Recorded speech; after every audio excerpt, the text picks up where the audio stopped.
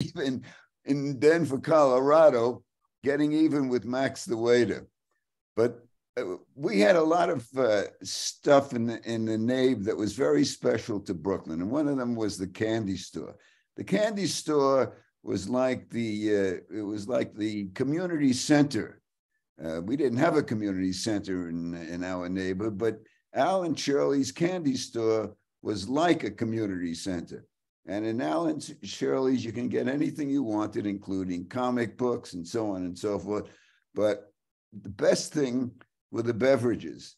And there were actually two favorite beverages. One of them was the egg cream, which didn't have an egg in it and it didn't have cream in it, but it had Fox's U-Bet chocolate syrup, it had seltzer, and it had milk. And it was made in such a way where the uh, candy store guy out would tip the Coca-Cola glass. It was a little Coca-Cola. It had to be glass. Couldn't have it with plastic. And put the milk in, put the Fox's U-Bet in, and put the seltzer in. But when he put the seltzer in, he had to use a spoon. So the spoon would deflect the seltzer and you get a about a, a half an inch of cream on the top. It was the greatest. Egg cream was a nickel, and it was only a chocolate egg cream. Anybody who had a vanilla cream, egg cream didn't know what he was talking about. Chocolate egg cream, and then there was the other drink because we were poor. It's called a two cents plain, and for two cents you got the same Coke bottle only with seltzer. And believe me, two cents plain was very popular with us because it was cold and it was cheap, you know, and that was uh, that was it. The other thing about uh, Al and Shirley's candy store was a very interesting thing. And again, I'm talking about 1942, right? A lot of people didn't have telephones, so they relied on the candy store. So if somebody, somebody, uh, let's say uh, Jerry Abel's, Jerry Abel would get a phone call at 7 Vernon Avenue, and the phone call would come to the candy store. So whatever the kid was around, they had to run to Jerry Abel's house, bring him down, give him the phone. He'd take care of his phone call, and he'd give the kid either a penny or a nickel maximum. Well, one day I'm in the candy store, and one of these guys, a guy named Cohn, who lived in the middle of the block, he got a call. I run to Cohn's house. I bring him to the uh, candy store. He gets his phone call. He gets done. I couldn't believe what happened. He put a half a buck in my in my hand. That was unheard of. He leaves the store, and I go over to Shirley, the Shirley of Al and Shirley's candy. store. what the hell's going on? This guy gave me a half a buck. Who is he? He says, she says that he's the new book on Vernon Avenue, and that's why he gave me a half a buck which I thought was a great event in my life. Among uh, other things, and by the way, I don't know when you want to ask questions or not, because obviously I'll take any questions you have. But one of my uh, one of my favorite stories is a prop, and I'm going to show you the prop, and then I'm going to tell you the story. Okay, here's the prop. I hope you can all can you all see it? Yes. Okay, you can see the prop. Okay, these are bookends, right? So one of the great things at PS 54, at least for me, was shop.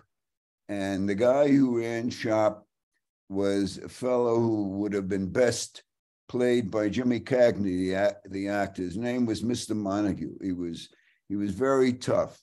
And at PS 54 in 1942, I must tell you, they were very strict with conduct. There was no kidding around anymore the way it is these days. Uh, you you were in trouble, and one way you get in trouble was if you get caught by any teacher, and the teacher gives you a demerit. You get a demerit. That was a bad thing because if you wound up with five demerits, you get left back, which was a, a real sin.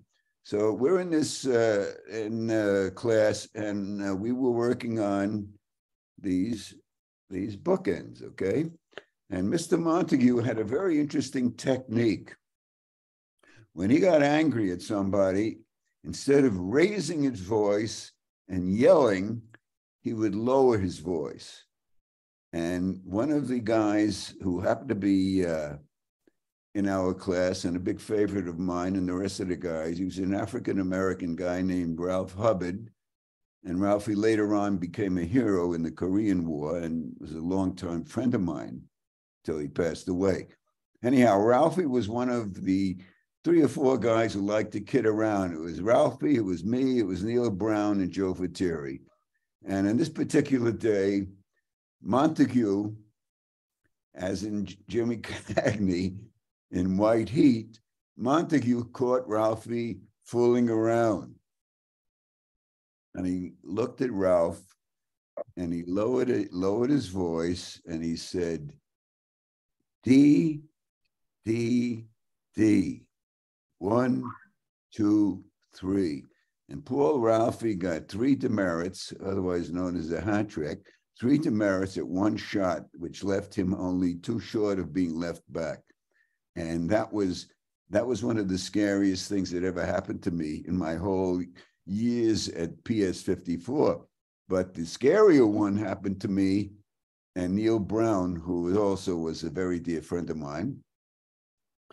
So we were working on the bookends, and the bookends were all done. Everything was done on the bookends. We had the name, you know, we were, had the initials carved in. Mine was, of course, SF on it.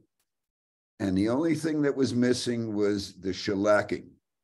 And the shellacking took place two weeks before the end of school, which was the beginning of June. And uh, one day, we're in school, in shop, and Brownie and I get caught by Mr. Montague. Goes like this. He says, Mr. Brown and Mr. Fischler, please come up to the front of the room and do bring the bookends with you. So we bring the bookends up. We're very, very frightened by this whole episode. We bring the bookends. He takes the bookends away from me, and then uh, us, and then he gives them back. And he said, "I want you to do one thing. I want you to take the bookends, and each of you give them a big kiss. And you know why you're going to kiss them? Because you are giving them a kiss goodbye. They are going to the nuns at St. Lucy's Church." on Kent Avenue. And of course, we give them a big kiss and we went back to our seats and we were crushed because this was two weeks before we were going to bring one of our favorite, favorite shop things back home. So now the class is over and Brownie and I are practically uh, in tears. And just before we leave, Montague says, Come back up. I want to talk to you. And we go back up and he says, Mr. Brown, and Mr. Fischler, did you learn your lesson? And we said, yes, Mr. Montague. And he gave the bookends back to us. That's why these bookends are still with me as the, the great Mr. Montague. That's it. Back. Oh, yeah. It says on the back, I still have the thing on the back, something. Anyhow, uh, 54 was a great experience for me, and uh, and so was a lot, of, a lot of other stories. I must tell you a story about my dad and uh, how uh, money was very, very tight in our house. My dad took me to uh, baseball games whenever he could. Took me to Ebbets Field to see the Brooklyn Dodgers, and when the Dodgers were on the road, we went to see the Bushwicks. The Bushwicks were a semi-pro team that played in a beautiful ballpark on the border of Brooklyn and Queens called Dexter Park. And the great thing about going to Dexter Park was the fact that we were able to see all the great black teams. They played the Bushwicks. The Bushwicks were a white team. This is in 42. This is uh, way before Jackie Robinson. In fact, we did see Jackie Robinson at Dexter Park uh, playing for Kansas City. We saw the great Satchel Paige, pitching for the Homestead Grays, pitched the first game of a doubleheader and then the second game. Second game, imagine that, and won both of them. And we also went to see the Dodgers whenever we could. And my favorite Dodger was Joe Medwick. He played left field. And we were sitting in the uh, left field grandstands. And I think this was a night game, actually. Anyhow, a guy hits a line drive to left field, and it was an impossible catch. And all of a sudden, Joe, his nickname was Ducky, by the way. Ducky Medwick doesn't dive for the puck for the ball. He slides. He slides, and unbelievably, he slid enough to actually catch the ball in his glove. Now, to me, that was the greatest thing I'd ever seen in baseball up until that point in my time. And of course, I was a big Joe Medwick fan before, and now even more so. So about two weeks later, my father and I went to see the Bushwicks. And after the game, we would hop on the BMT Broadway Brooklyn line, change for the Myrtle Avenue line, get off at downtown Brooklyn. We go to the automat, which was a ritual. The automat, I'm sure some of you may remember for uh, you get just just about everything, but you had to have nickels. Most of the things you had to use and put a nickel in, blah blah blah. So we get done with we get done with dinner. I always had uh, cream spinach, mashed potatoes, and sometimes mashed turnips, which was a very interesting and a good item for me. Otherwise, it was baked beans, which was a, came in a little uh, container. It was very good stuff. But the whole point of the deal is we get done and we walk out into Fulton Street. And as we turn left to go to the subway, I discover right, right next to, right next to the automat was a sporting goods store that I had never noticed before, little one. And I said, Pop, I want to look in the window here. So I, am looking in the window. You couldn't see everything because it was it had a little gate, but you could see enough. And what I saw was enough for me to see. There in the window was an ox blood colored Joe Medwick autographed outfielder's glove. And I, I was absolutely captivated by it. And I, I said, Dad, Dad, Dad. And I pointed to it and I said, I'd love to have that Joe Medwick glove. Can you buy it for me? And my dad took a look and he says, No, I can't, I can't get it for you. I said, Why not? Why not? He says, You see the price? It's six dollars. Six dollars. I don't have I don't care if there's a Joe DiMaggio glove. You can't, I can't, I can't get it. So I was crushed. So now I go home and I'm trying to figure out what kind of plan I can pull on my old man to get that Joe Medwick glove. And about a week later, I went to camp. I used to go to camp for three weeks, went to charity camps. And this one was called the Pythian Camp. Uh, it was a great, great camp up in uh, Glen Spey, New York, near the Delaware River. And I figured once I'm away at camp, I write letters. My parents write letters, and my mother was fantastic. My mother was actually the reason why I became a writer because she was the great writer of the family. She'd write to cousins and everybody in the family. She kept kept the whole family together that way. And I was, you know, I'd, I'd watch her and see she see her write, and I guess uh, by osmosis, I became uh, watching my mom became a writer. So anyhow, what happened was I go to camp and every day I'm getting a, a postcard or a letter from my mom, except two of the days on the weekend, my dad would send me a letter, but in, in addition to the letter, he would send clippings from the Daily News, the World Telegram, all about baseball and mostly all about the Dodgers.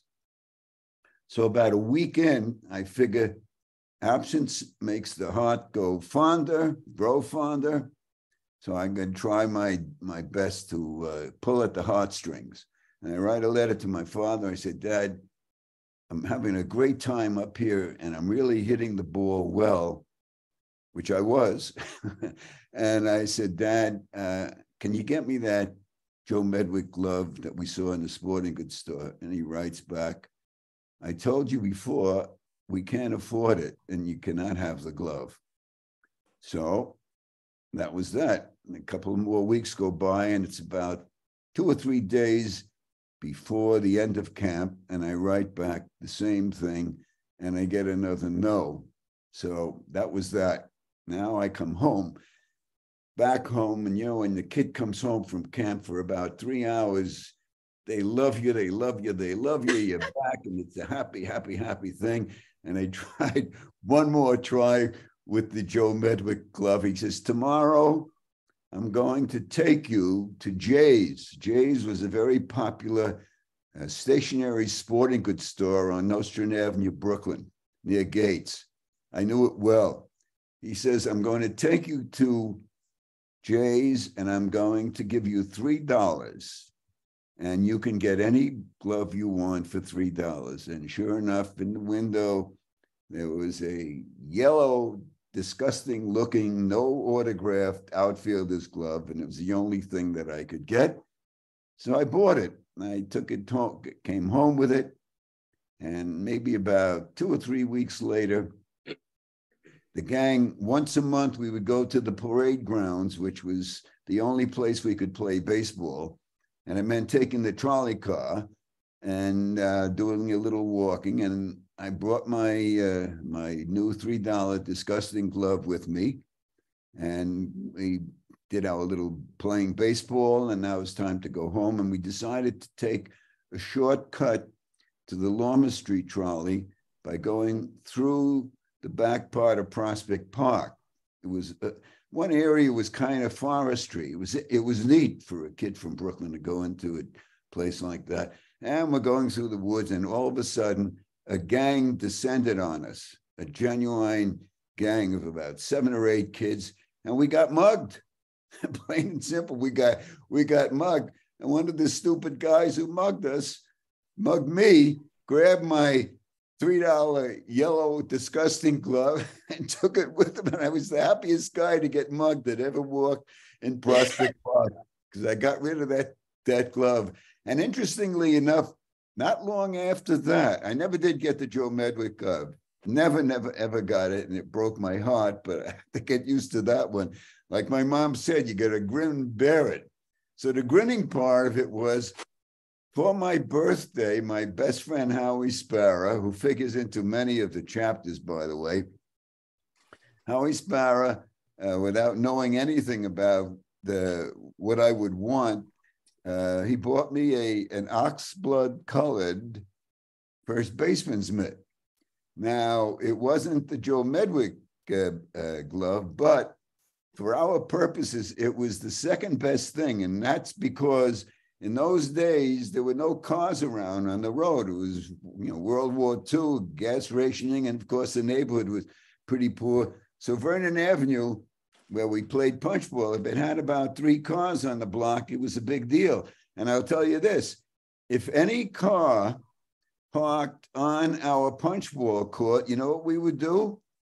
First of all, nobody locked the cars in those days, so we'd we'd reach in or open the door if the window wasn't open, and we release the uh, emergency brake and we push the car maybe 10, year, 10 yards off the punch punchball court and leave it there. And that was it. And then we, we'd play our game. So having a punchball was the big thing on, on Vernon Avenue. It was a big thing in, in the summer from April until September.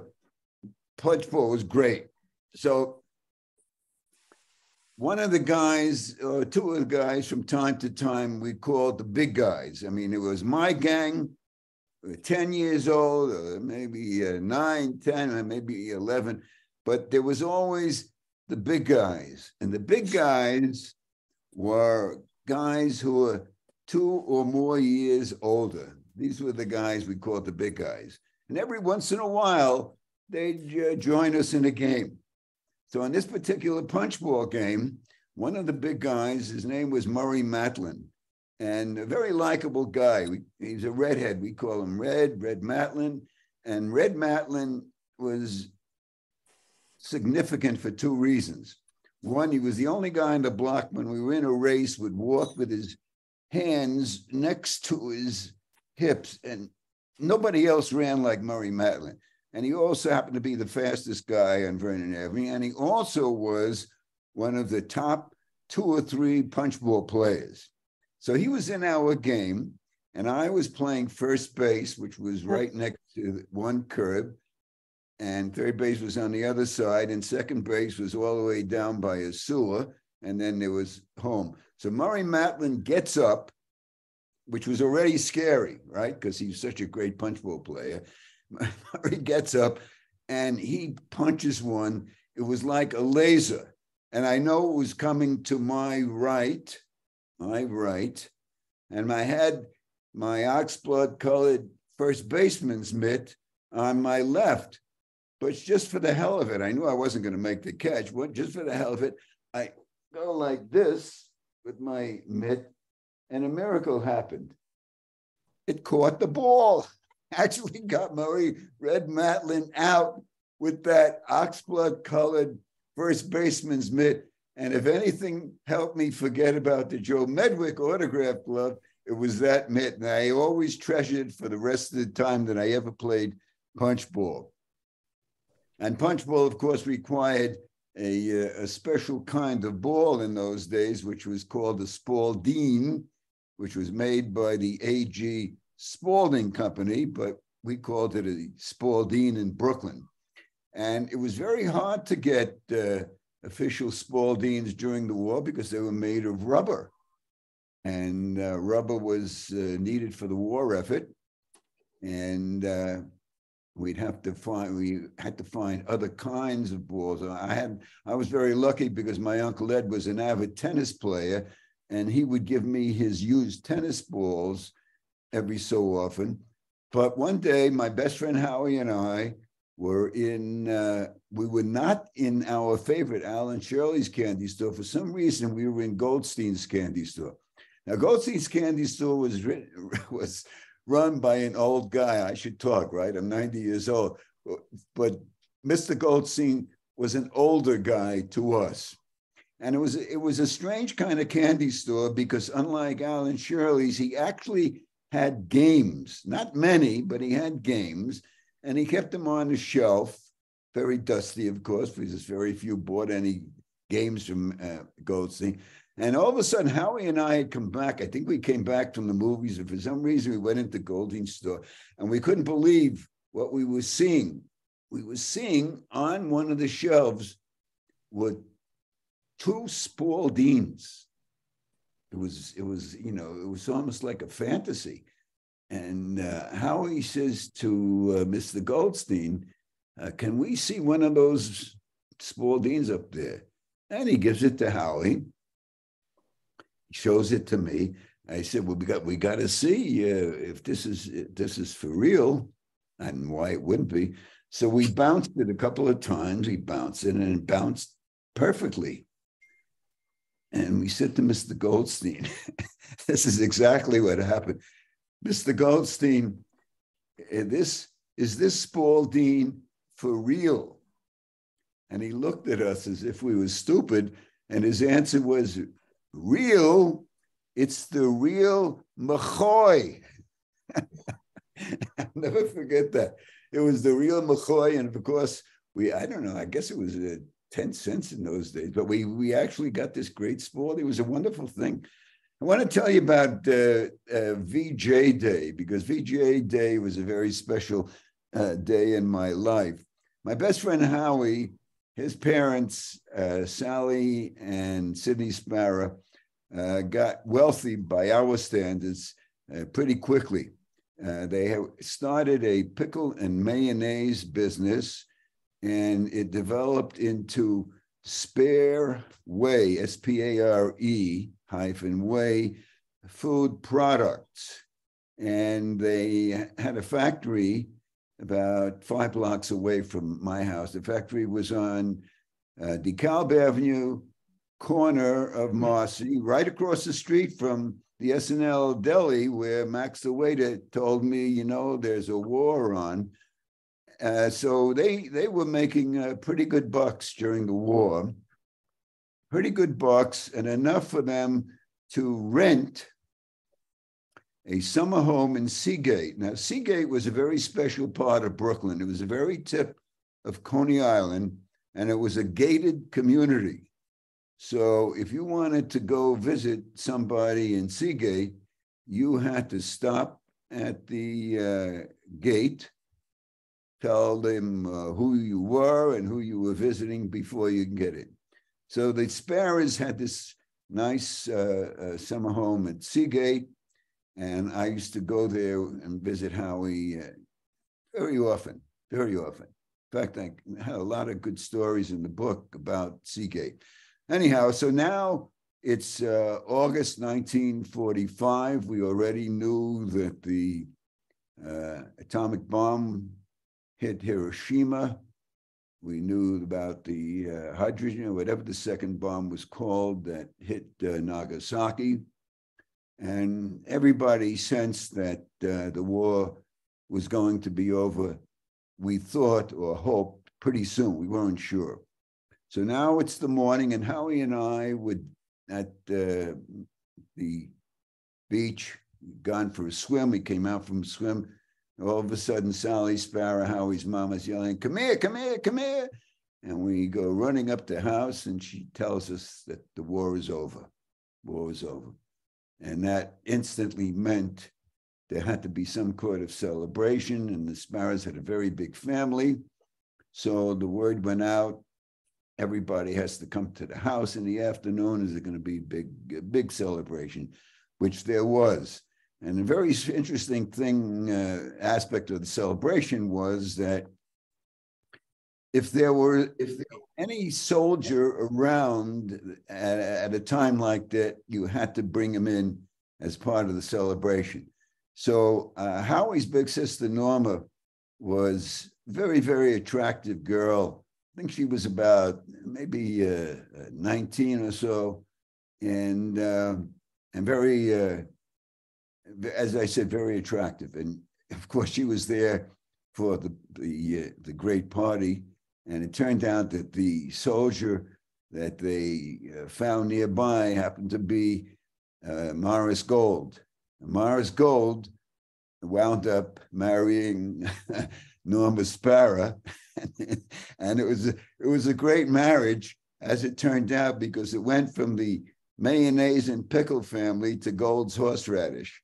This was the gold of, of Gold's, Gold's horseradish. W- wonderful, uh, wonderful coincidence. Meantime, so the party is going on, and of course, Howie and I, you know, we uh, uh, partook of everything, and then suddenly, uh, Howie's mom says to, to me and Howie, uh, listen, guys, uh, I want to take you.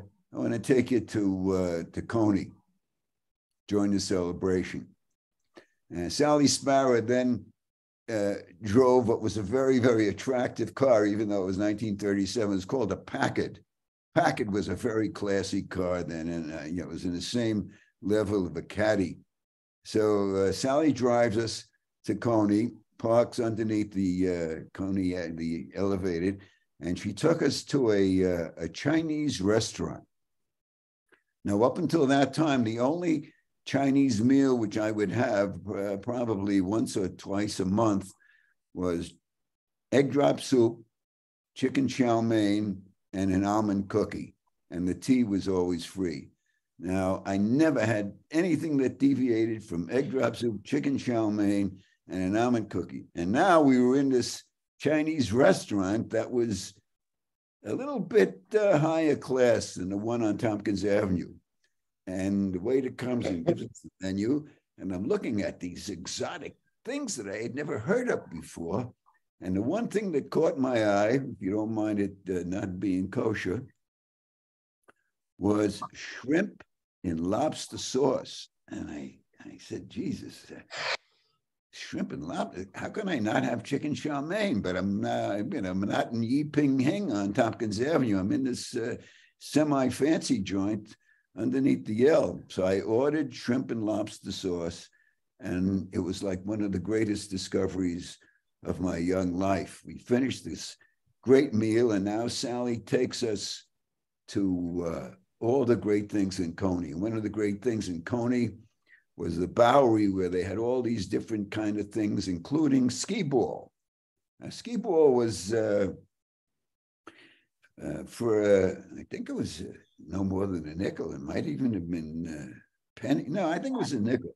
Anyway, you put a nickel in, you pull the lever, and out comes uh, five ball wooden balls, and you rolled them, and you had to get them into one of three holes. And if you did well, you'd get a, a coupon if you got it in the middle hole, which was a hundred thing, you were uh, real good. Anyhow, we played our skee ball, and then uh, she took us uh, to, of course, we had to go to Nathan's, we had a hot dog, and then then was the, the big thrill of all. The big thrill of all, we'd never been on a roller coaster before. Coney had a lot of roller coasters. The greatest of all was the Cyclone, which was too scary for us at that time. But across the street from the Cyclone was actually the first roller coaster that Coney had, and it was called.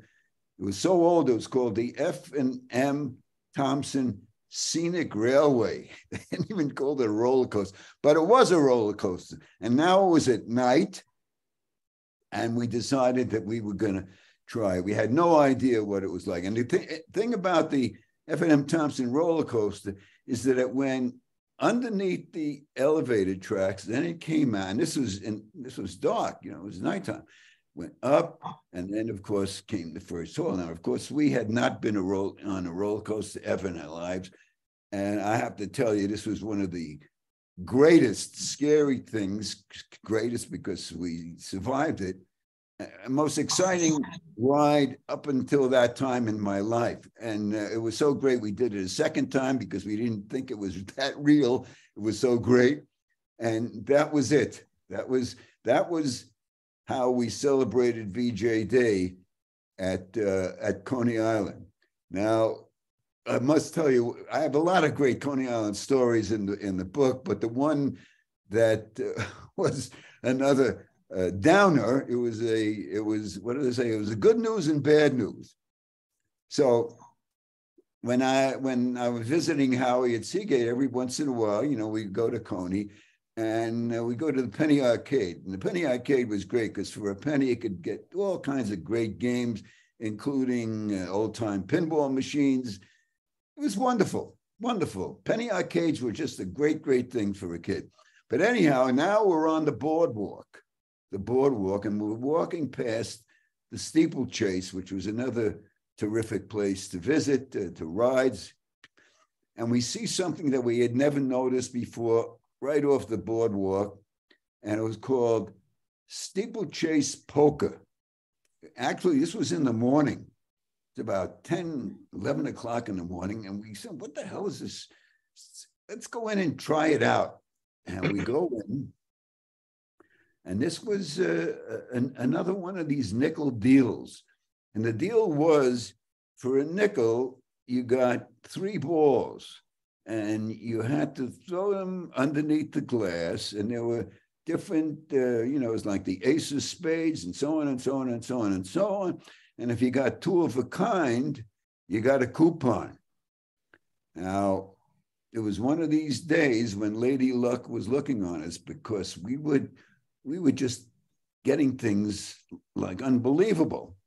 And the difference was that if you got a coupon at steeplechase poker, it wasn't like the chintzy stuff at the skee ball where you, if you were lucky with skee ball and you got a, uh, you know, uh maybe a uh, some cheap pen or something like that, there was you could get good stuff at uh, with the coupons. And we got done this is what I got because I thought this was a wonderful thing to bring home for mother.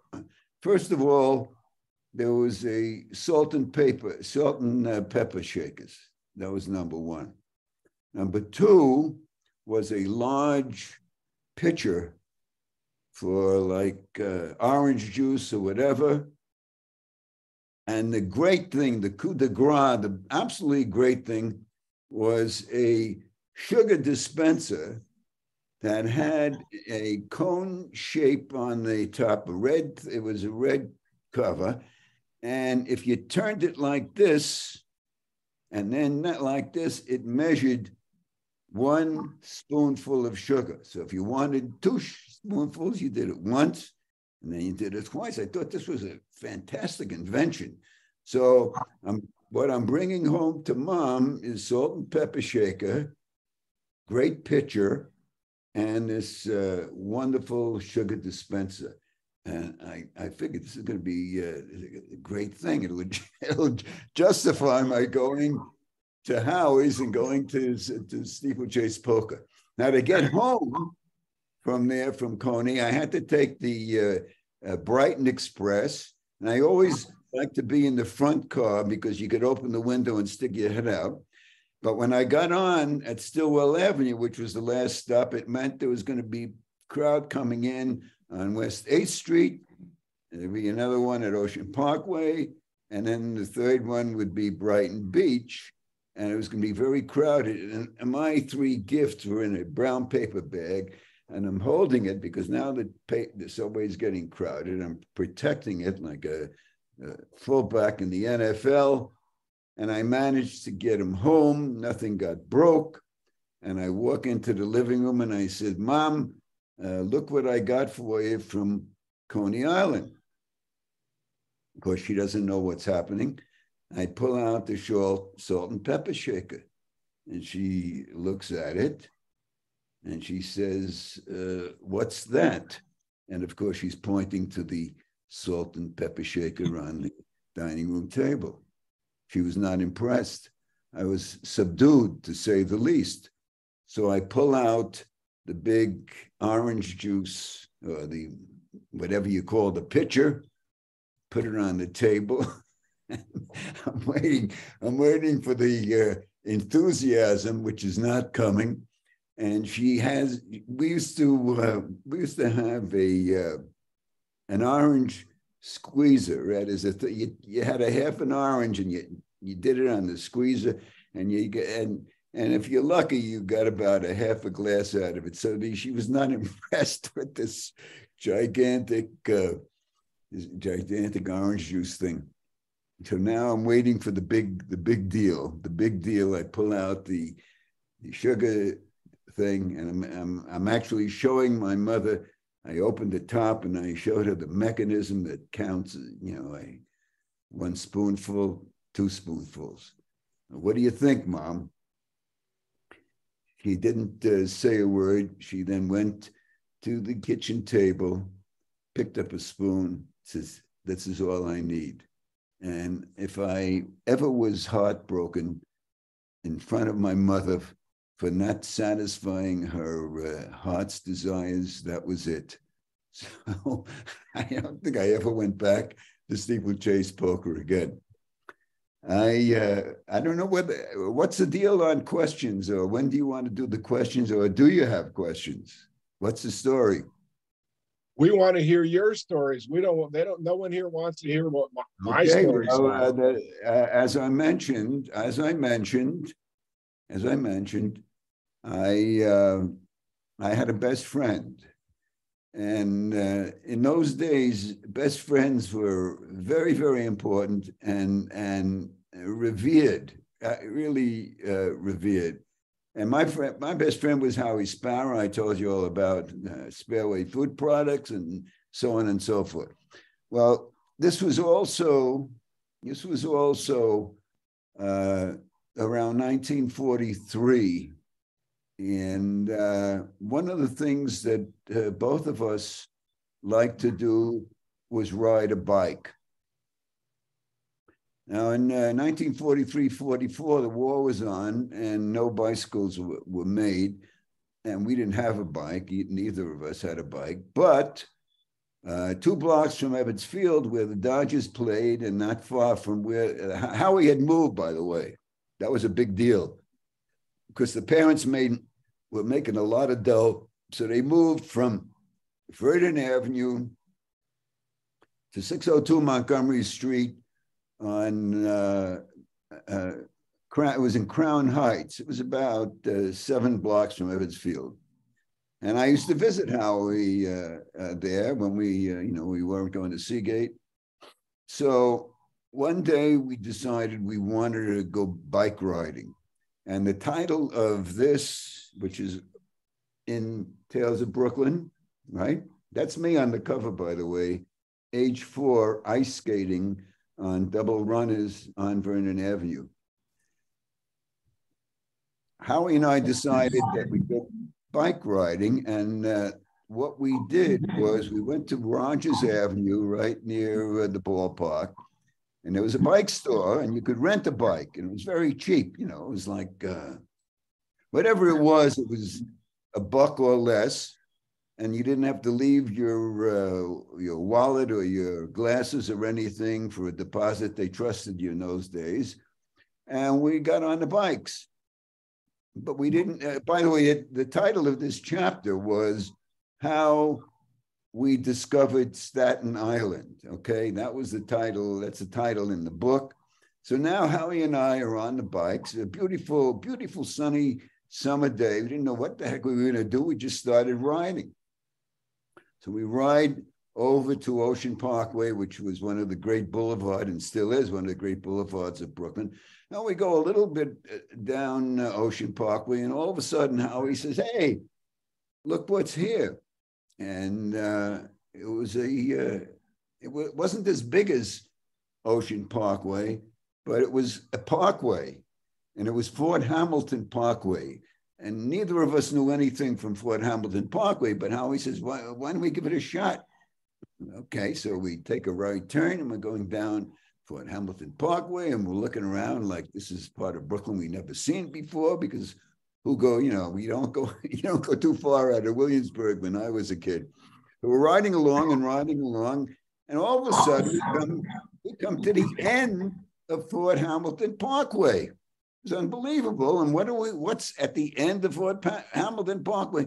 Water, water. This was New York Bay, and we're looking around and looking around, and all of a sudden we see two signs. One sign on the left says to 69th Street Ferry, and there's the other sign said to 39th Street Ferry.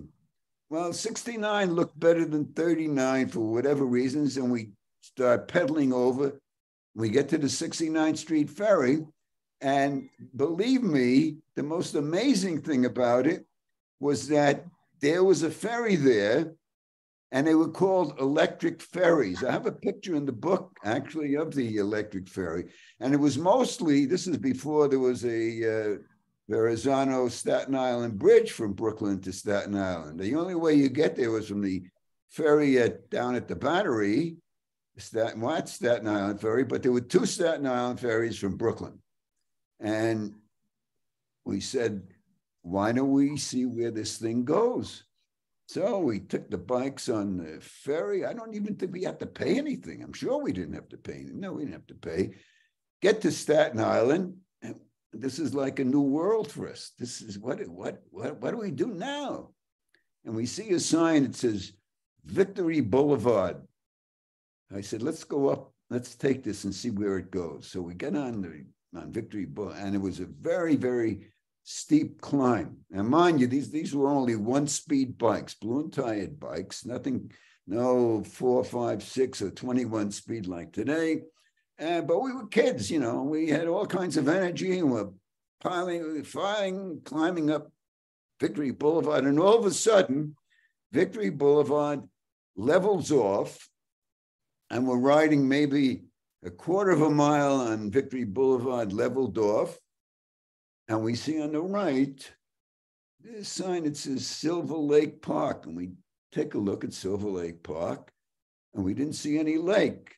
So we said, "The hell with this!" And we get back on the bike, and we riding, riding a little more, and all of a sudden we come to another park, and it says Clove Lakes Park, and it was a lake oh, right there. So we said, I don't think anybody else. we gotta, we gotta, we gotta, try this place. And we, we parked the bikes, rented the rowboats, and now we're having a great time rowing in Clove Lakes Park. And then And stay with me, and you'll run out. What? The first couple of times to stay, Okay, and you'll run out, yeah, does that work? right. is there a problem? Is there a problem? Somebody's not muting themselves and they should. Am I okay? You're okay. We can hear you fine, Stan. Okay, so now, so now we uh, have a great time rowing in Clover.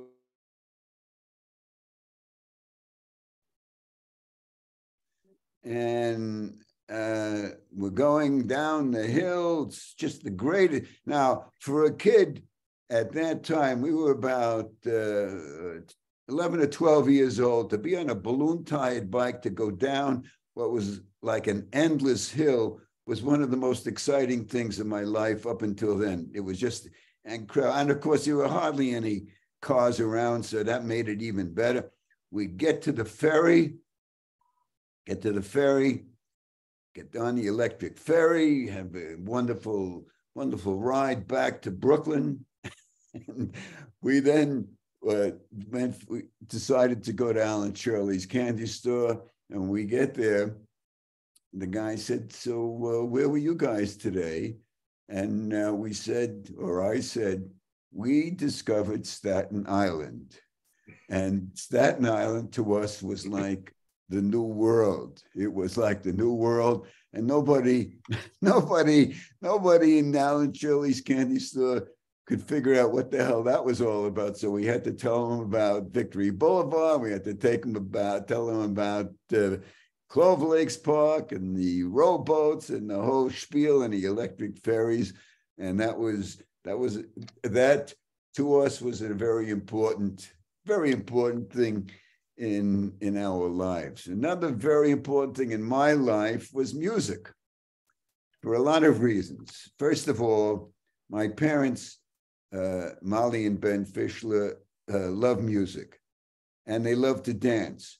And uh, watching them dance what was called the one step, which was fast uh, usually to a, uh, a jazz tune, uh, was very exciting for me to see because they did it well, and you could see that they they were loving it.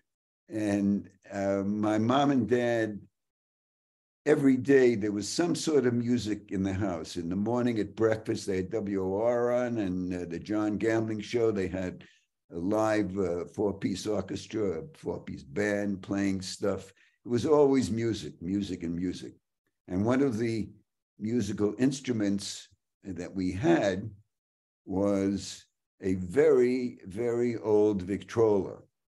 Now, to make the Victrola work, it had a crank. And you had to first uh, crank it up. You had to put the uh, 78 RPM uh, record, the disc, which had two sides to it, by the way, uh, on the uh, on the turnabout, and then you had to. It was everything was 78 RPM, so there's nothing to worry about with the any 45 or 33 or any of that stuff. And uh, the first uh, record that I remember getting was Playmates uh, with Kay Kyser's band. Oh, playmate, come out and play with me and bring your dollies three, crying up by apple tree. I loved it, loved that.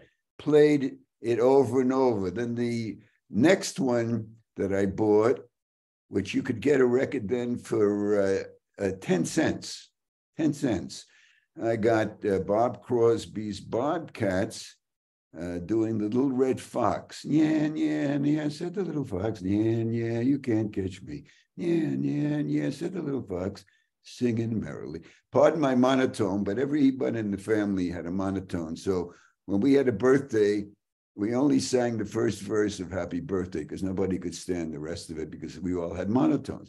So I am I'm collecting uh, collecting records and one after another. I love love music. So one day, Howie and I went downtown Brooklyn. This was again right uh, during the war, it was 1944. And we used to visit the department stores. This was usually before the holidays, which meant the uh, most important part of the uh, department store to us was the toy department. Usually it was on the sixth floor. There were three big department stores. There was Frederick Loeser's, there was Namm's, this is all on Fulton Street, which was our basically our Broadway. So it was Frederick Loeser's, across the street from the RKO Albee, which was a great movie house. Loeser's, Namm's, and then the biggest one of all was A&S, Abraham and Straus. And Abraham and Straus had just built the like a a mini skyscraper department store. So that was that was the big deal. So now we're in A&S, and uh, for some reason, they had on the same floor as the toy department, they had what uh, was a, uh, they had a, a, regular piano and this guy was a, a song, a sheet music seller. So he would be playing tunes. And if you liked the tune, he would sell you the sheet music. Sheet music was the big thing then. If you didn't buy the record, you had a piano and somebody could play the piano. So you'd buy the sheet music. And uh, things like uh, the words to songs were in actually a monthly, you get a monthly magazine. It would have all the words to all the pop tunes on a hit parade for that particular month. So anyhow, we're in uh, we're in this uh, portion of A&S, and there was this grand piano, and there was this guy, and he starts playing a tune, and it, it, this is the first time I ever had this experience where I actually heard a song being played that I had not heard before. And it was like instant, instant love of the song. And of course, I didn't know what it was at the time, but then the guy pulls out the sheet music and people were buying it. I couldn't buy it because we didn't have a piano at the time. And the uh, tune happened to be Sentimental Journey, which was a, uh, a very significant uh, World War II song, uh, a very big song. And uh, the uh, vocalist was Doris Day, who went on to stardom in Hollywood.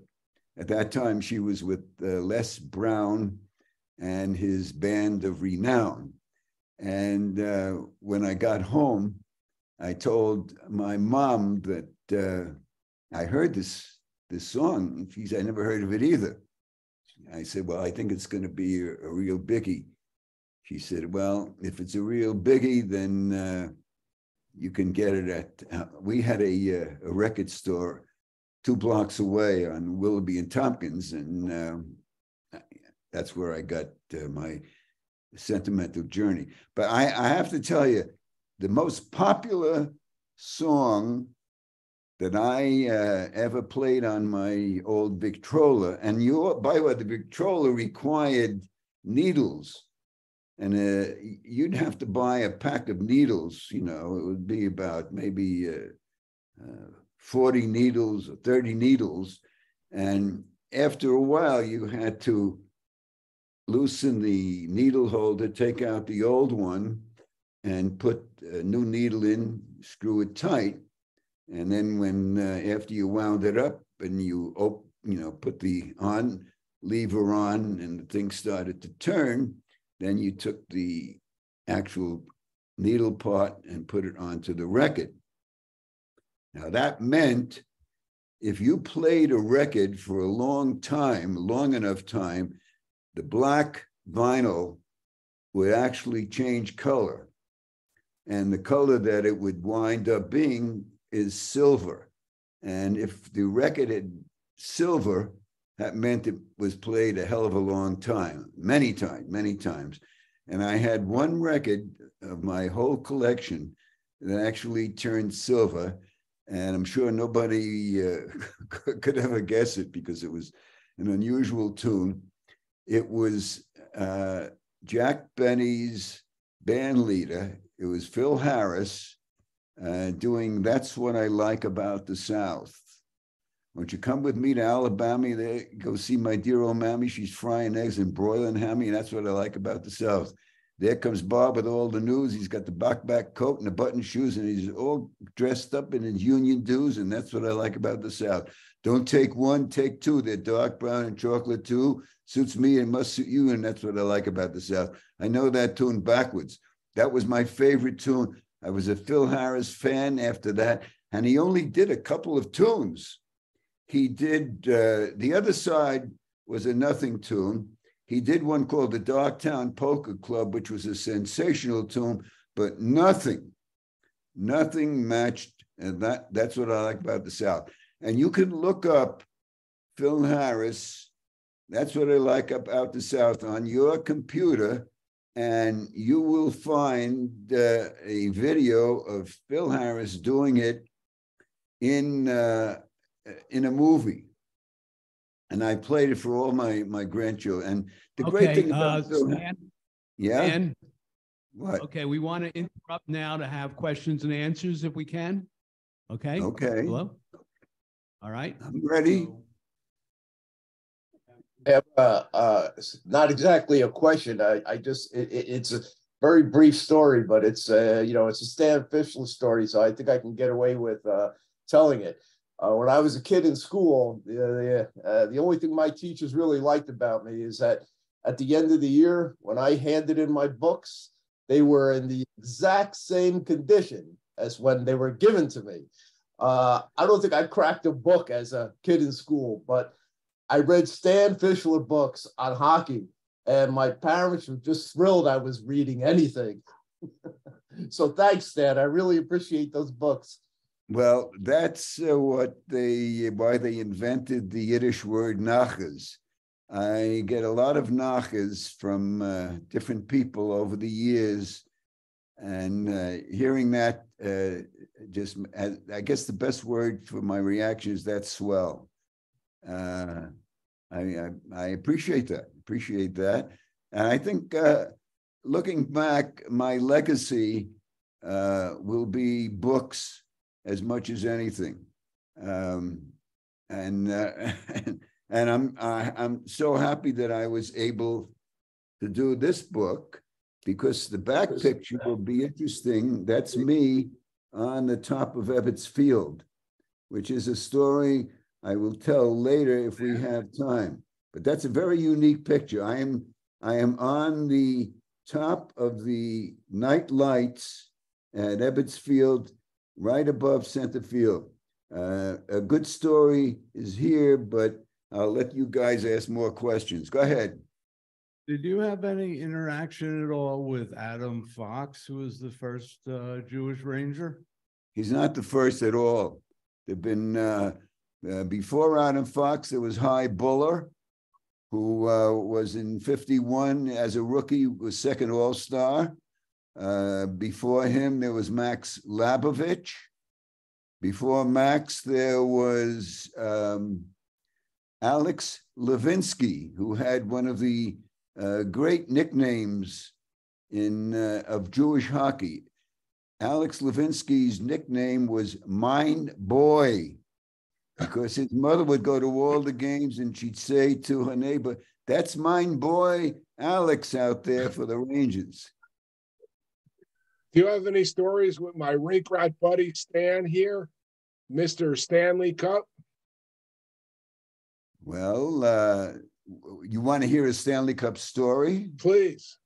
Well, uh, well, first of one of the one of the great stories was how the when the Montreal Canadiens uh, won the Stanley Cup, they brought it to a studio on St. Catherine Street in Montreal called uh, Rice's, and the team uh, uh, did individual and uh, a group picture with the Stanley Cup.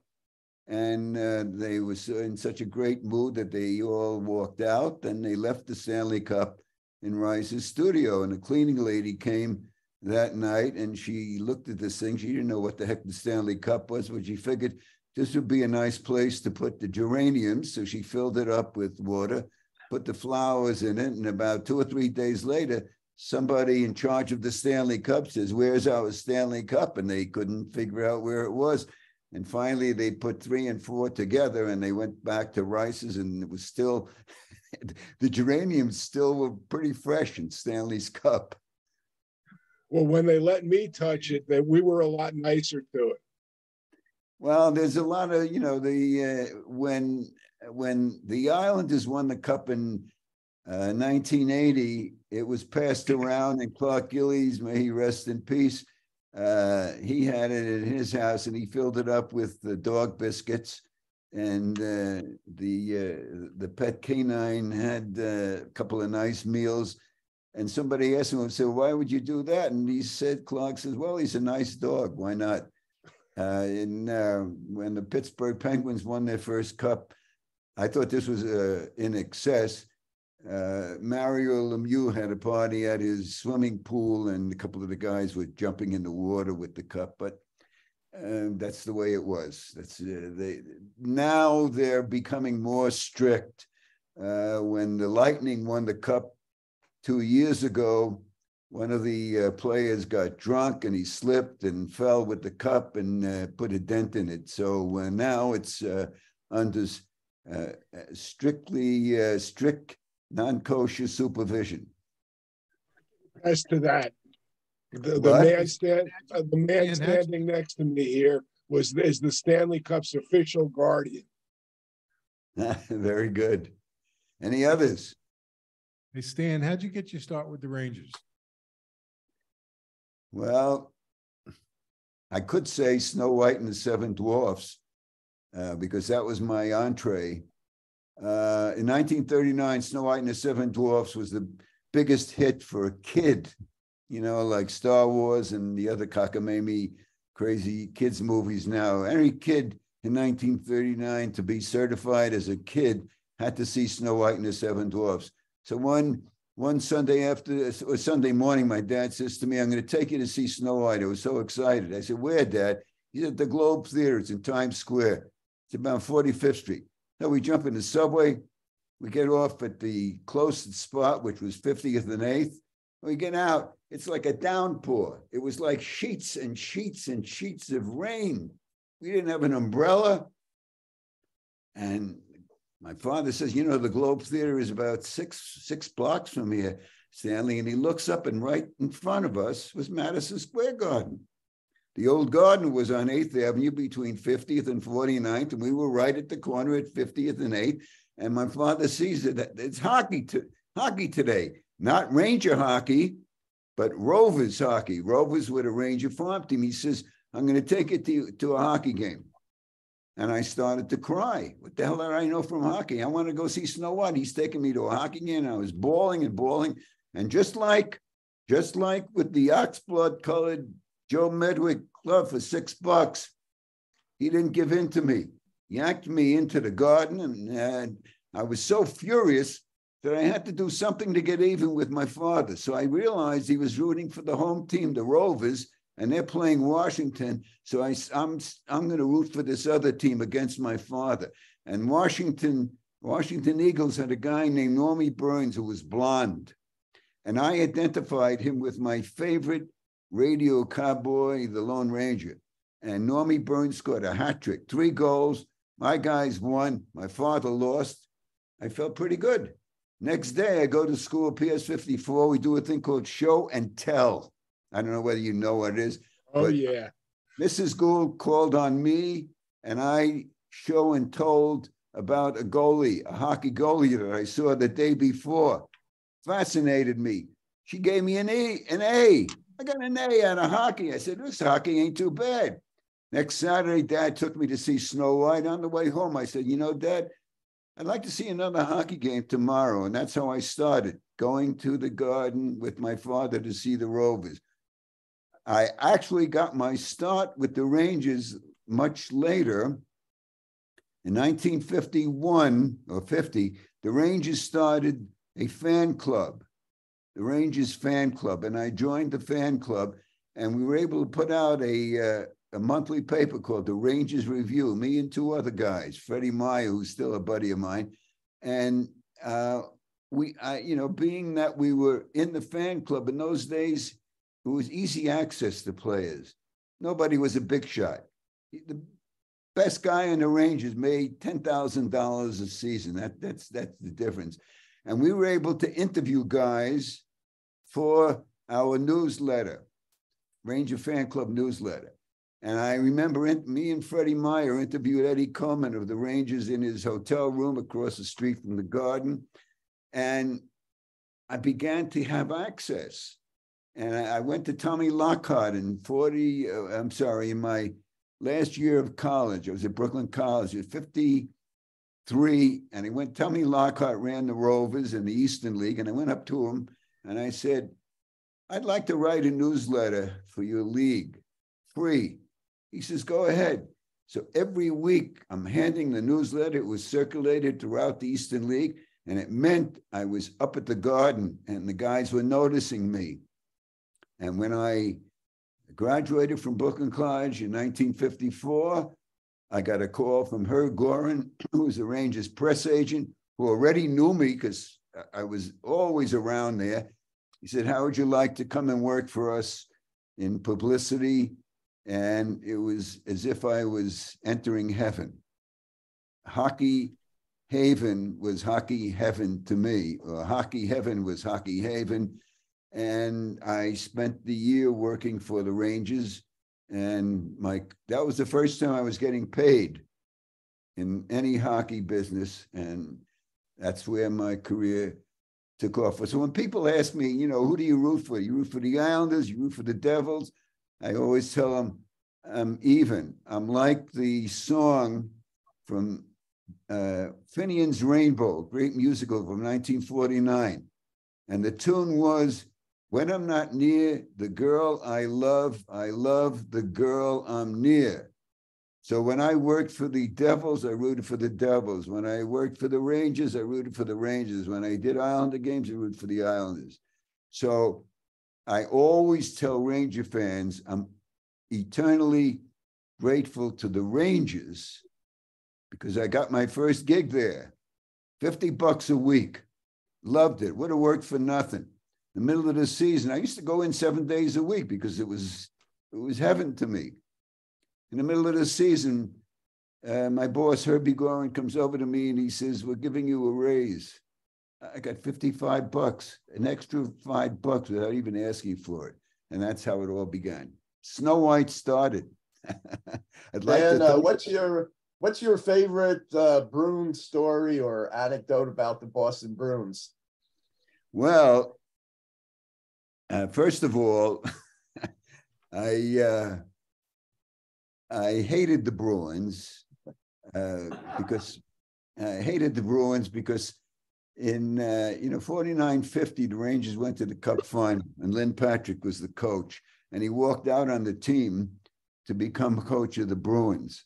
And we hated him for that. And we hated the Bruins for luring him away. And uh, as it happened uh, we didn't make the playoffs for years after Lynn Patrick uh, uh, did a Benedict Donald on us. And I, uh, but there were things about the Bruins that were fascinating. And one was the Thanksgiving doubleheader. On uh, the day before Thanksgiving, that night, it was a tradition that the Bruins played at Madison Square Garden. And then on Thanksgiving night, the Rangers played the Bruins at Boston Garden. And I decided that uh, I was in the fan club then. I decided that uh, I was going to go to the game at the Garden at MSG, and just a block away on 50th and 8th was a Greyhound bus terminal. I'm going to take a Greyhound bus to Boston. I'm going to check into the Manger Hotel, which was next to Boston Garden, I found out. And I'm going to see the game and then come home. And in those days, there was no new, uh, no New England Turnpike. Uh, it was Route One. It was an awful trip, awful, awful trip. I got got to Boston six in the morning get out of the bus and i was it was i was punchy i was really punchy and i i was told that if you take the subway it'll bring you to the uh, boston garden causeway street and the manger hotel so i go down into the subway and all of a sudden i think i'm hallucinating instead of a subway car coming in it was a trolley car who ever heard of a trolley car in the subways? But that's the way it was in rinky dink Boston. So I went to the uh, I went to the Manger Hotel, and uh, I, I, went to a game, and that was my uh, you know my first experience at a live Bruin game at Boston Garden. It was the first uh, of many. I later found out that the uh, Manger Hotel was actually part of a stand-up comics gag in Boston. And the gag, well, the way it was built, the Manger was part of three structures. They built the garden in 1928, and they built the garden over uh, a North Station, which was the Boston and Maine terminal, and the hotel over the uh, station. So it was an engineering feat, but the problem was every so often when the trains came in, it, it would vibrate. So anyhow, the gag was a couple comes, uh, checks in the manger, they go into room 204. The husband says he's going to take a walk down to the Charles River. The wife says she's going to take a nap. He goes out and she's in bed and she's about to fall asleep. And all of a sudden, a train comes into North Station. The room vibrates. She falls on the floor, gets back into bed. She's about to fall asleep again. Now the train comes in. She falls on the floor. So in 10 minutes, she's on the floor five times. He calls up the manager. He says, What's the matter? She says, Every time a train comes in, I fall on the floor. He says, That's impossible. She says, You come up and, and I'll show you. So Five minutes later, knock on the door. She opens the door. There's the manager. He says, Please come in and get into bed with me. So the manager climbs into bed. All of a sudden, the husband walks in, sees the guy in bed with his wife. He says, What the hell are you doing there in bed? And the manager looks up at the guy and says, You won't believe this, but I'm waiting for a train to come in. Anyhow, uh, so uh, I, I, got to know guys on the Bruins over the years. Some of them were nice guys, and of course, Derek Sanderson uh, became my pal, and I I I ghost wrote his book. I've got to be me, and uh, I did a Bobby Orr and the Big Bad Bruins, which was the best-selling hockey book I ever did. So how those are two good Boston stories in one gag. Uh, Stan, I'm a big fan of yours, and uh, you know Islander fan these days, but I remember my Ranger days. I used to go with my GO card for 75 cents, go, go to the Madison Square Garden, sit upstairs, then move down to sit right on the rail on the concrete steps. We were never bothered. But my the greatest routine was I loved Steve Allen. And every Sunday I'd go to the game and then be a bus outside the old garden taking you to What's My Line with Steve Allen. That's how they got people to, on a Sunday night to come to the show. They'd have a bus at MSG. And I also remember the locker rooms. We used to wait for Rod Gilbert and we used to walk through Times Square, you know, just like he was a regular guy. He was terrific. But my question to you was uh, again, you know, being an Islander fan, how did you feel about the way Tavares left? Were you close with him? You know, have any feelings on it the way he left the Islanders? Well, first of all, I had to be close with him. Uh, I interviewed, I was the first one to interview him after he was drafted. I was up in Montreal. And very interesting story because I love to joke, tell players jokes at the right time. And uh, he was drafted and they brought him into the studio. And uh, I had heard a, a good joke and I told it to him. And it was like talking to the Sphinx. So I said, I got problems with this guy. So now he comes to the team and he's the captain. And because he's the captain, he's the first guy I got to interview after every game because that was one of my jobs. And he was a good guy. He was a good guy.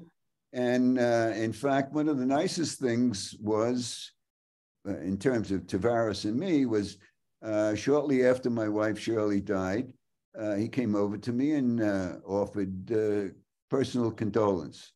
I liked the guy for that. I liked him. I didn't think he was a superstar, but he was uh, he was a good, very good player, and uh, I was uh, convinced uh, in my mind. In fact, I had lunch with the owner, one of the two owners, Jon Ledecky, and he asked me, uh, "Do you think he's going to stay?" And I said, "No, I don't. I just had bad vibes." But uh, I was angry. I was furious when he left.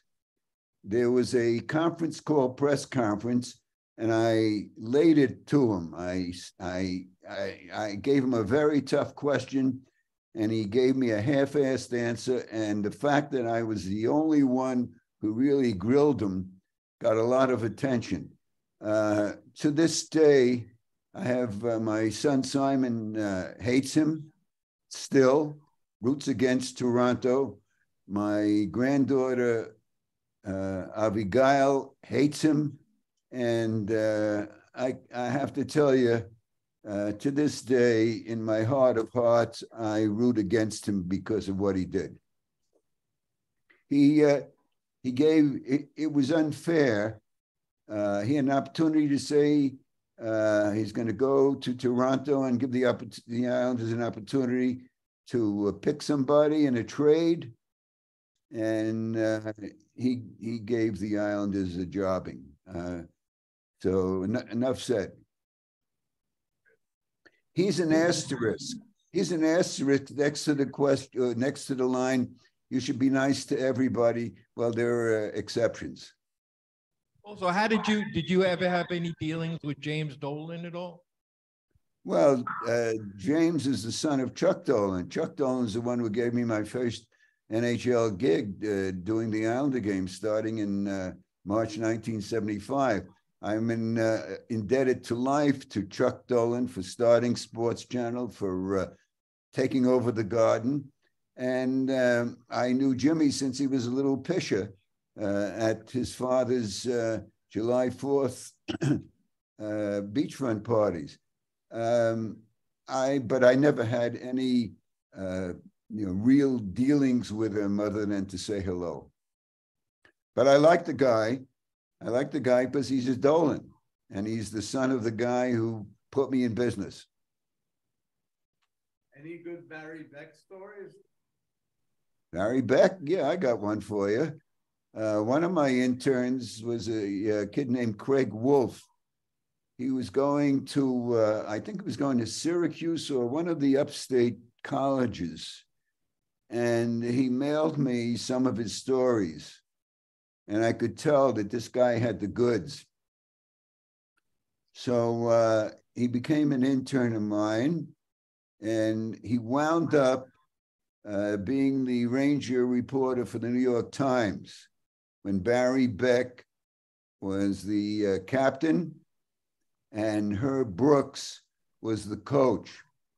And during a practice uh, at which only Craig was there, he witnessed Herb Brooks calling Barry Beck a coward. Imagine that, calling your big, tough defenseman a coward. And uh, Craig Wolff wrote the story, caused a sensation. And um, so there's your Barry Beck story. Did you ever see Tom Ranger defenseman Tom Laidlaw break a stick over his head? No, but Tom Laidlaw became a very successful agent and is a good friend of mine. I never saw that.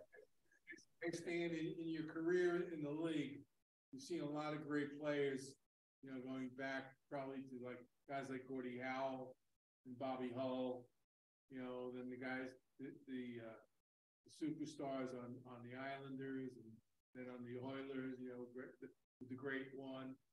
In, in, in, your opinion, although they might have all different played different styles of hockey, who do you think was the greatest hockey player ever? Well, no doubt, Gordie Howe, greatest ever. He could put, he could stuff Wayne Gretzky into his pocket and carry him. Gordie Howe could do everything. He was he was the best fighter in the league. He was the best passer in the league. He was the best scorer in the league, and he was the best leader. He was he was everything, and he was also very dirty. And in those days, you could get away with uh, uh, dirty hockey. The rules were a little more uh, relaxed uh, than they are now, much more relaxed than they are now. So, um, but Gordie Howe was basically a forward, although he did play a little bit of defense. Uh, the greatest defenseman. Uh, now, again, this is not fair in one sense. How do you compare a 1939 Cadillac with a, a present day Cadillac. They're two different, it, it's totally different. The game was totally different when, uh, say, a defenseman like Ching Johnson was playing for the Rangers. They didn't wear helmets. The skates were different. The ice was different. Everything, everything was different. But if if I were to pick a best defenseman, I'd pick Denny Potvin because Benny Denny Potvin could score. He was a very very tough hitter, and he was a great leader. He was a he was a captain, and he captained the Islanders to four Stanley Cups. He captained the Islanders to 19 straight consecutive series, playoff series victories. Now, uh, as far as goaltending, I would take Glenn Hall because Glenn Hall played, listen to this Glenn Hall played 502 consecutive games in goal without a mask. Uh, today, any you ask any goalie, would he ever get into the net without a mask? He says, "What are you crazy?" So those, those are those are my favorites. I'll tell you another one of my favorites. Her name is Agnes, and she hasn't asked me a question. Thank you, Stan, but I'm not going to interfere with all these wonderful gentlemen here. Oh, thank you. Thank you, Stan. It's a You're pleasure welcome. to always. And I just have one thing to say to you, a big kiss from me. you made my night, kid. well, your day. It's your day. Uh, any other questions? She said you don't need a publicist because you're doing a pretty good job. Not bad at all. Any Whose hockey questions? stick is that behind you, Stan? Oh, uh, I'm in my granddaughter's. My granddaughter is 18, and uh, she play. She's playing hockey right now. Uh, in Israel, there are not many rinks, but in a, a town called Metula, which is a 45 minute drive from here, uh, there's an Olympic-sized rink, and this is where my uh, three grandchildren from here learn to uh, learn to play and uh, that's one of her sticks. She's a very keen Islander fan, and her boyfriend is a goalie, so they're keeping they're keeping hockey uh, in the family. Um, He wears the school's big livery. that that that that explained that that explains uh, the uh, the hockey stick. Any more? I have one. I'm going to have one more last story, but I'll take questions up until. Hey, Stan, uh, qu- quick question. Have you ever heard of a hockey player Devils named Uli Hiemer? Yes, I do. I uh, I did games when he was playing defense. He was a German, German, uh, big guy, pretty good, pretty good. Uh, not great, but uh, but that was when the team was uh, not so hot. Uh, now they're the, one of the hottest teams in the league. But I do remember him well. But uh, he was not he was not in the uh, All Star category. Any more? What's your favorite hockey memory?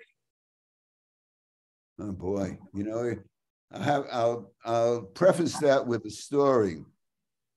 When Bobby Orr was the in his prime, one of the greatest defensemen of all time, a guy from Life magazine went up to Parry Sound, Ontario, and interviewed uh, Bobby Orr's mother.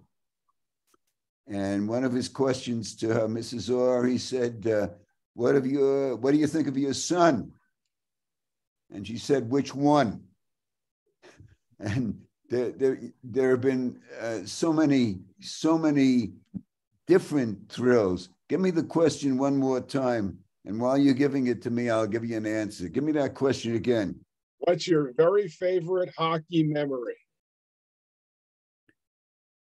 Okay, it was, it was the, uh, it was the fourth playoff series of the Islanders. That would have been 83. They were playing the Edmonton Oilers with Wayne Gretzky and Mark Messier, and they were heavy favorites to beat the Islanders. The Islanders already won three in a row. They were basically beat up, tired out. And the Islanders uh, beat them the first two games in Edmonton. Then there was the third game. The Islanders beat them at the Islanders. And between the third and the fourth game, there was a league luncheon where players and the coaches from all teams were there. And the coach of the uh, Oilers, Glen Sather, got up very uh, brash, almost brazen. He predicted that his team is going to come back and win. So uh, we had a pretty good hate on for the Oilers.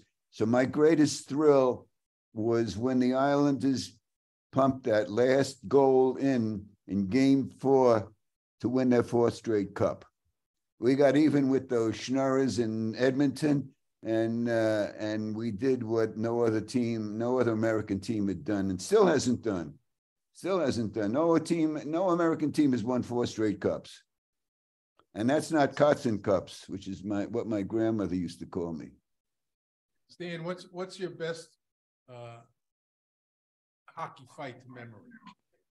Hockey fight? What was your best hockey fight? No question. It was uh, Howe Fontinato at the Garden. I was there, uh, practically st- sitting o- above them in the press box. Howe was behind the net, uh, high sticking with Eddie Shack of uh, of the uh, Rangers, and Louis Fontinato, who's considered then uh, the heavyweight champion of the league, comes skating in because he had a grudge against Howe. he skated in and practically pushed Shack out of the way and started punching Howe. And after Howe took the second punch, he he just punched the behoozes out of uh, uh, so badly that Louis had to be taken to the hospital and kept in the hospital uh, overnight, overnight. And uh, from that point on, Fontinato was never the same. Uh, it's considered the best one-on-one in terms of the damage done. Uh, another interesting one was uh, Clark Gillies beating the crap out of uh, Eddie Hospodar of the Rangers. Now, Gillies was not a fighter. He didn't like to fight. But if you kept bugging him, watch out. And this Hospodar of the Rangers was a tough guy, and he kept bugging Gillies, and Bucky's Gillies kept saying, stop, stop, stop. And finally, in one of the uh, playoff games, uh, Gillies was sort of involved with some scrum, and somebody hit him from behind, and he turned around, and it was Hospodar, and he destroyed mm. Hospodar. He destroyed Hospodar. They took Hospodar to Polyclinic Hospital. Next day, Frank Brown, who was an intern of mine, now covering the Rangers for the Daily News, he went to visit Hospodar in the hospital. Afterwards, he called up his desk, his sports editor, and sports editor uh, says, What are you doing, Frank? He says, I'm at Polyclinic Hospital. He says, Well, what are you doing there? He says, Well, I just interviewed a guy who once looked like Eddie Hospodar. That's how, that's how, that's what a job Gillies, Gillies did on him.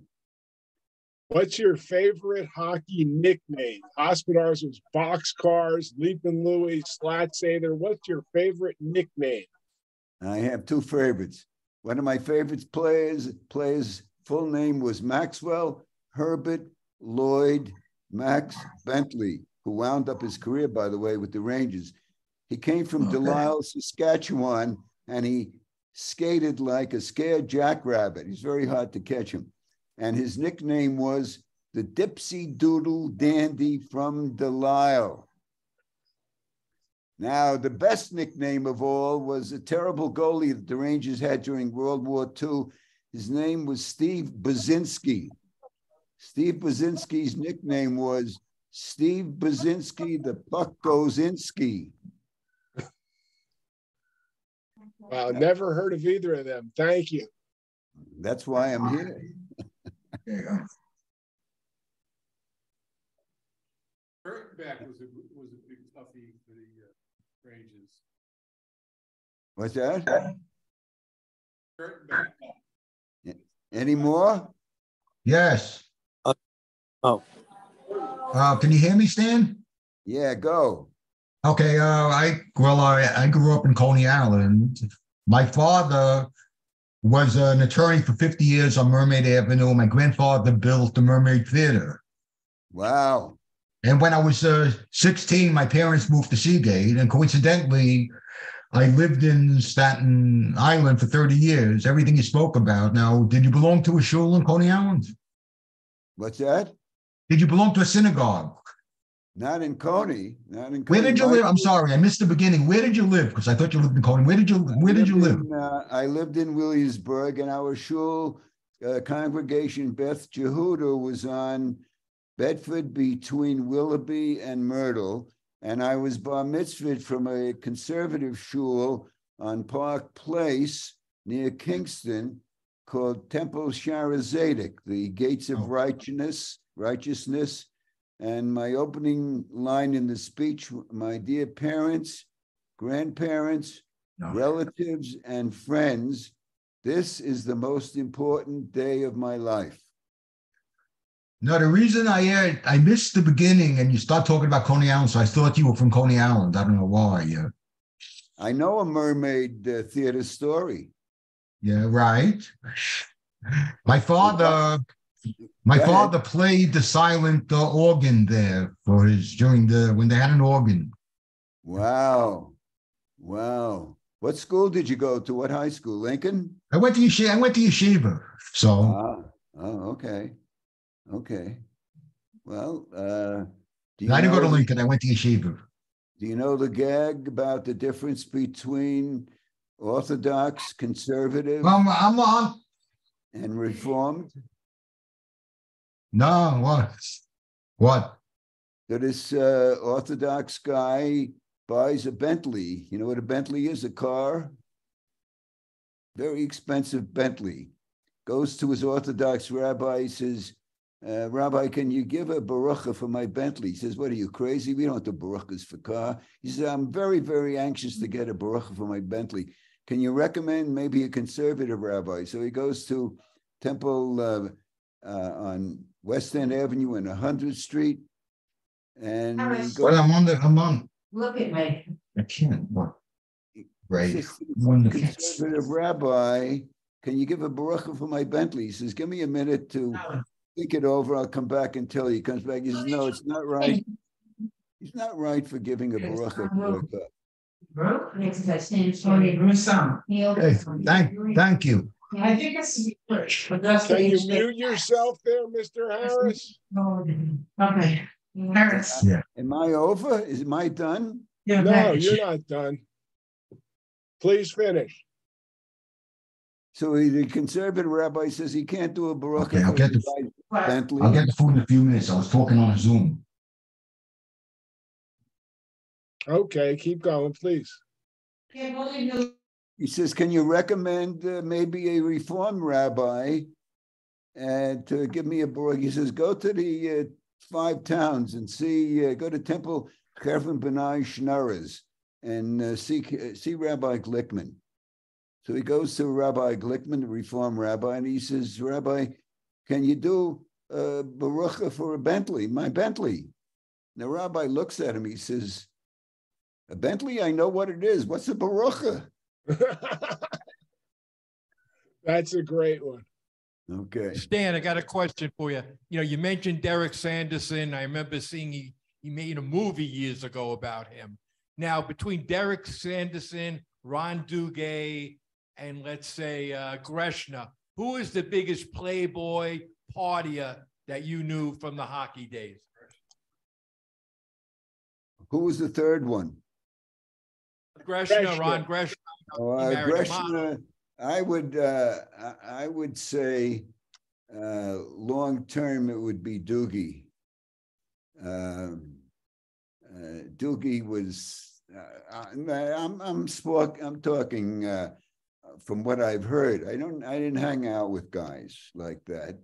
And, uh, but Doogie was nonstop. In fact, he's, but they tell me now that uh, he's dating the former governor of Alaska. Uh, but Doogie, by the way, by the way, Doogie, uh, wonderful guy. Resh Greschner, wonderful guy. Uh, Rod, I, I ghosted Rod's book, uh, Goal My Life on Ice. Wonderful, wonderful guys. Now, uh, when I uh, celebrated my 90th birthday, uh, the Rangers invited me uh, to a game, and they gave me. I could I, I show it to you if I had it uh, off the wall. Uh, Brad Park, I ghosted his book, Play the Man, and Ronnie Greschner uh, presented me with a, uh, a plaque with a program for my very first game in 1942, my first Ranger game, and uh, beautiful stuff, beautiful, beautiful stuff. Um, so I don't have anything, uh, you know, even uh, talking about Tavares. Look, he did what he felt he wanted to do, blah, blah, blah. So, but, uh, you know, hockey guys have been great guys. Uh, excuse me. Uh, my buddy uh, Irving Rudd was the press agent for the Brooklyn Dodgers when they were the Boys of Summer from 1950 until they left. And I ghosted Irving's book thanks to my friend Agnes. Agnes was the one who got me to do Irving Rudd's book. And Irving used to tell me about the Brooklyn Dodgers. And one day I said to Irving, What are these guys really like? And he quoted uh, from Charles Dickens and he said about the Brooklyn Dodgers, there is not a rotter in the lot, not a rotter in the lot. And that's basically uh, what, what it is with hockey guys. You know, there's always one bad apple and one schlemiel uh, around, but uh, good guys and uh, particular guys that you met, uh, meant, uh, you know, Doogie, good pal, good pal. Greschner, he was there to give me the plaque. Brad Park, same thing. So uh, good fellas, good fellas, good movie, good fellas. Roger Bear brought him the beer when he came and skated with us in, in pickup hockey after he retired. That's how nice a guy he was. We wanted to buy him the beer. He brought beer for us. Well, I'll tell you about uh, uh, Steve Allen. When Steve Allen had his Tonight Show, before Christmas, he did a show from uh, Rockefeller Center Rink, and uh, he pretended to be the goalie, and Rod was the shooter. And Rod came down, and as Rod is about to shoot, Steve Allen turned the net around backwards, and uh, Rod says, "What are you doing that for?" And Steve's punchline was, "Well, turnabout is fair play." that was that was uh, that was his sight gag with the gag. Uh, wonderful guys, wonderful. Did you think the gag line was the best line of all time? No, no, no, no, no, no, no.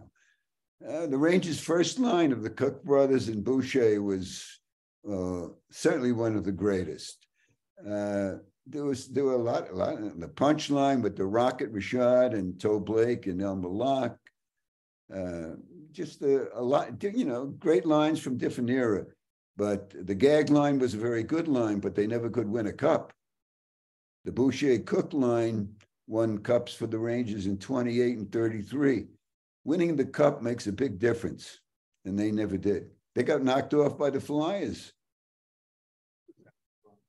The evil empire. Yes, that's right.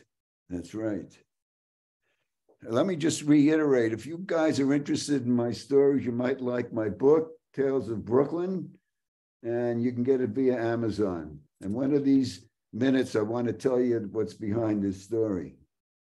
Okay? Any more questions?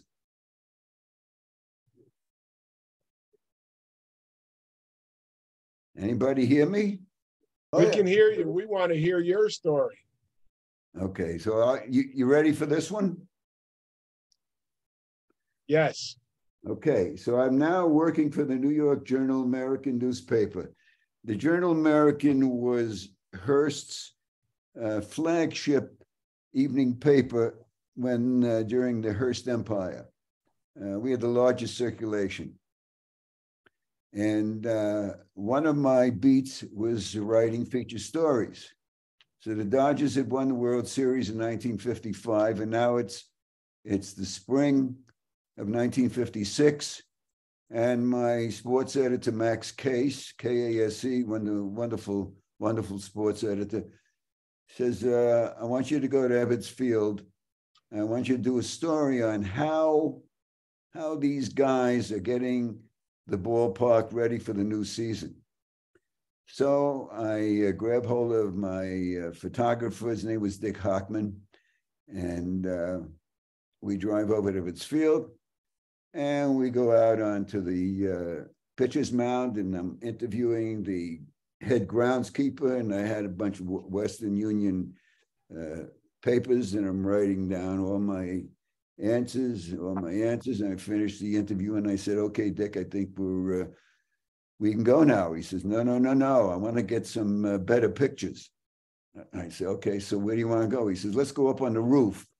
Now, Dick Hoffman didn't know that Fischler had a fear of heights, but I'm not going to tell him because I'm now doing a job for my paper and I have to listen to uh, what I'm told to do. So he says, let's go up on the roof. So now I'm really scared, but I, we go up to the roof.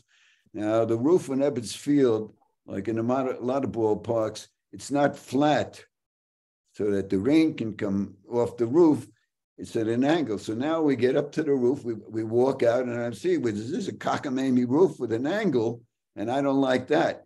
The next, even worse than that is what I heard Dick Hockman. He says, Dick, he says, uh, Dick and I were at the home plate part of the roof. He says, let's go over, let's go take a walk around and, and see. So now I'm walking in the middle, right? Like I'm not gonna, I don't want to slide off and fly over down into the grandstands. And I'm walking along, I'm very, very nervous, as you can imagine. And he says, let's go all the way to the lights at center field. Now this is the this is the farthest of the night the had uh, the lights for the night games. So by the time we got to the center field, I'm ten times a nervous wreck. I said, "What do you want to do now, Dick?" He says, "I want to get a picture of you like you're examining the lights for the first night game." And what do you mean? I said, "What do you mean?" He says, What I want you to do is climb up this little ladder here and go up to the top. And then you're going to take out your papers and you're going to pretend that you're taking notes. Well, I mean, what's beyond being scared to the hundredth uh, power? But I got to do it, right? So this is this picture was taken. This is a very scared Fischler pretending to be writing down notes on the top rung. Actually, I'm above the lights at uh, at Ebbets Field. Now, what the picture doesn't show you is what I what happened then. Hockman took takes the pictures. He says, "Okay, you can come on down now." So I put my notes in my left jacket pocket, and as I'm very frighteningly coming down the ladder, my jacket gets caught, gets caught in the ladder, and the notes start flying out of my pocket. Now, this natural reaction when something like that happens is to try to grab them. But if I tried to grab them, I would be flying over the ball field like Icarus, and I wouldn't be around to tell this tale to you. So I quickly uh, subdued my reflex and came down and we eventually went down to the uh, to center field and i i retrieved the uh, notes and i went back to 220 south street and this is this is the story that inspired my uh, story the next day journal american and uh, this is the book Tales of Brooklyn. So uh, that was a, that was I would say that was one of the scariest moments of my entire life, and I had a picture to prove it.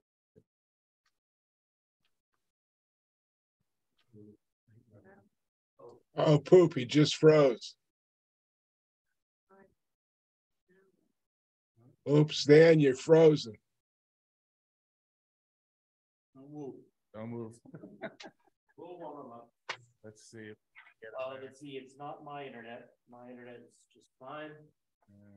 Um, you wonder Arab attack? Yeah, everybody's moving.